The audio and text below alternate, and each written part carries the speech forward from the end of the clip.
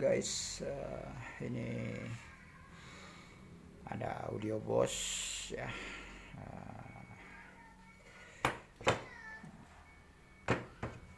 bodinya mirip dengan kick ya.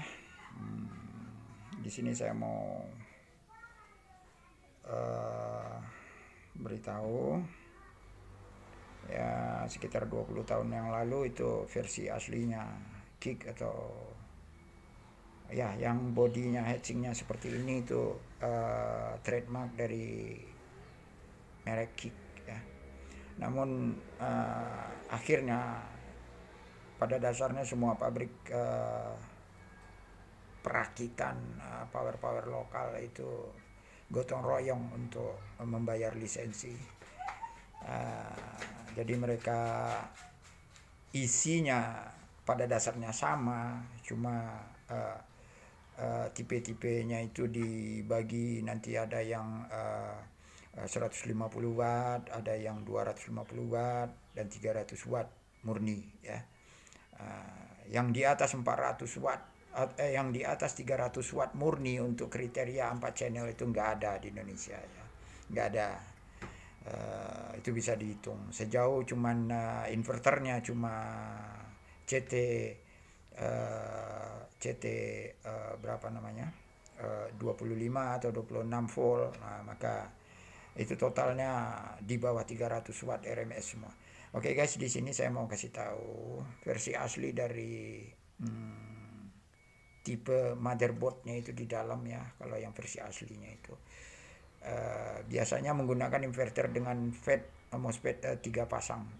Nah kalau kelihatan yang seperti ini dengan body uh, seperti ini terminal outputnya seperti ini maka dipastikan di dalam itu cuma ada dua pasang transistor uh, FET-nya uh, artinya lebih lemah daripada versi aslinya. Nah ini ciri-cirinya kalau sebaris ya. biasanya yang versi original itu uh, bertumpuk ya bertumpuk. Dua di atas dua di bawah gitu. Nah, di sini bisa kita lihat guys uh, ini uh, transistor uh, inverternya cuma ada dua pasang ya. Uh, oke okay guys nggak apa-apa ini tetap bisa kita jadikan monster.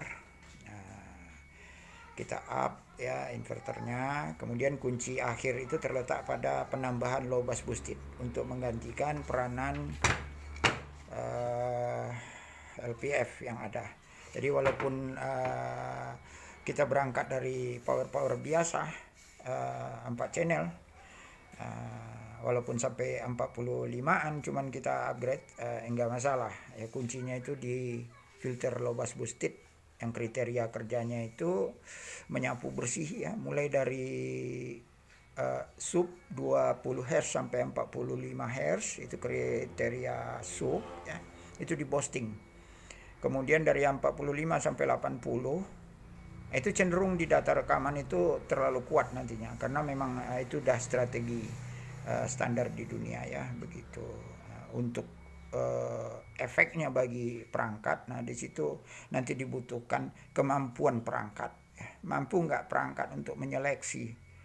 Mampu nggak perangkat untuk berperilaku pintar memberikan uh, yang terbaik untuk uh, woofer maupun subwoofer woofer dengan subwoofer itu berbeda ya berbeda. Sama juga halnya dengan uh, tadi saya bilang frekuensi yang namanya bass itu ya. Ada sub bass ada bass ya. Ada mid bass lagi nanti. Uh, oke okay guys. Uh, uh, cukup sekian. Uh, lain kali kita sambung